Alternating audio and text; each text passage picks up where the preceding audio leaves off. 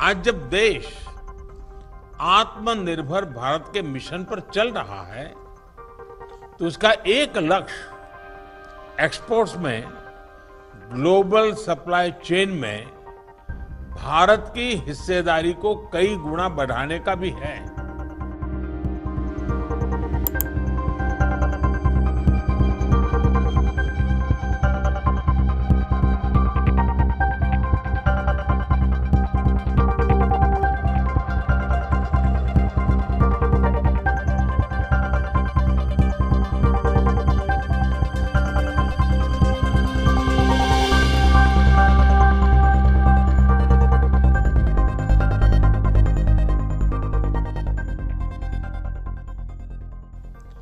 Friends जब global economy में हमारी हिस्सेदारी सबसे अधिक थी,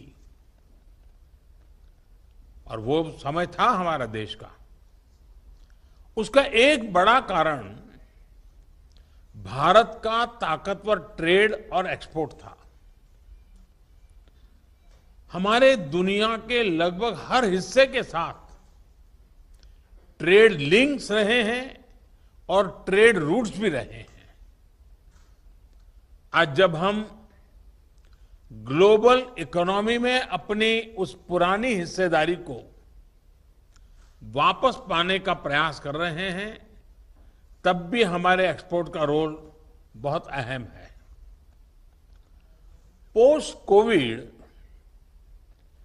ग्लोबल वर्ल्ड में, जब ग्लोबल सप्लाई चेन को लेकर आज एक व्यापक डिबेट है तब हमें नए अवसरों का लाभ उठाने के लिए पूरी ताकत लगा देनी है।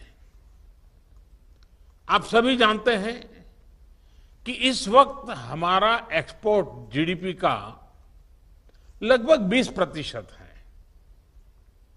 हमारी अर्थव्यवस्था के साइज़, हमारे पोटेंशियल, हमारी मैन्युफैक्चरिंग और सर्विस इंडस्ट्री के बेस को देखते हुए इसमें बहुत वृद्धि की संभावना है।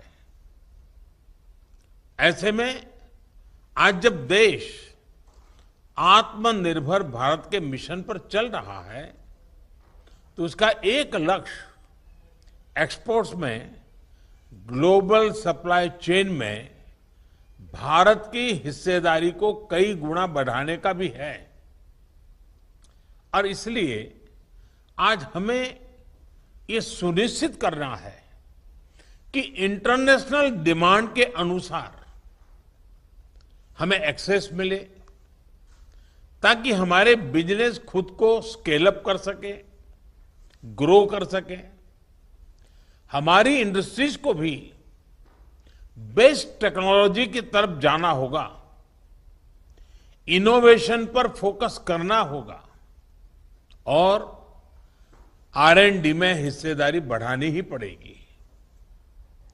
ग्लोबल वैल्यू चेन में हमारा शेयर इसी रास्ते पर से चलकर ही आगे बढ़ेगा।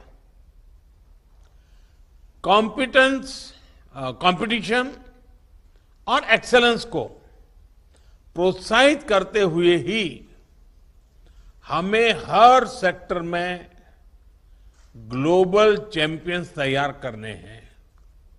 साथियों एक्सपोर्ट बढ़ाने के लिए चार फैक्टर्स बहुत महत्वपूर्ण है। पहला, देश में मैन्युफैक्चरिंग कई गुना बढ़े और क्वालिटेटिवली कॉम्पिटिटिव होना चाहिए। और जैसे अभी कुछ साथियों ने कहा कि आज दुनिया में एक ऐसा वर्ग तैयार हुआ है, जो कीमत से ज़्यादा क्वालिटी पर फोकस करता है। और हमें इस चीज़ को एड्रेस करना ही पड़ेगा। दूसरा, ट्रांसपोर्ट की लॉजिस्टिक्स की दिक्कतें दूर हो। इसमें राज्य सरकारों को भी, केंद्र सरकार को भी, और जो भी प्राइवेट उसमें प्लेयर्स होते हैं, इन सबने अपनी भूमिका निभानी होगी। तीसरा, एक्सपोर्ट्स के साथ सरकार कंधे से कंधा मिलाकर के चले। ये कोई राज्य सरकारें इसमें अगर इन्वॉल्व नहीं है, राज्य में जो प्रकार की एक्सपोर्ट काउंसिल्स हैं, वो अगर इन्वॉल्व नहीं है, और कोई एक व्यापारी अपने तरीके से एक्सपोर्ट करता रहता है आइसोलेटेड वर्ग में तो हमें जो परिणाम चाहिए वो नहीं मिलेंगे। हमें मिलकर के ही प्रयास करना होगा। और चौथा फैक्टर है, जो आज के इस आयोजन से जुड़ा है, और वो है भारतीय प्रोडक्ट्स के लिए इंटरनेशनल मार्केट ये चारों फैक्टर्स एकजुट होंगे, तभी भारत का लोकल ग्लोबल होगा। तभी make in India for the world के लक्ष्य को हम बेहतर तरीके से हासिल कर पाएँगे।